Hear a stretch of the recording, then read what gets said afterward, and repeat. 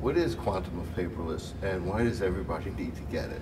You know, quantum of paperless is basically a straightforward, quick read on the 32 most important technologies that we see within CPA firms.